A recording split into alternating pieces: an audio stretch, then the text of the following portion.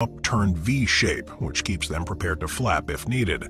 As they're so big, flapping is an energy-intensive and labored process for them, and while they'll do it if necessary, they much prefer to glide and soar while using natural wind currents and updrafts to do the majority of the work. Normally when they're not hunting and they're scouting an area, they'll fly through the air at a speed of around 30 miles an hour, but this all changes when they're on the attack. When it's time to dive in towards prey, they'll hold their wings close against their bodies and tuck their legs up against their tails.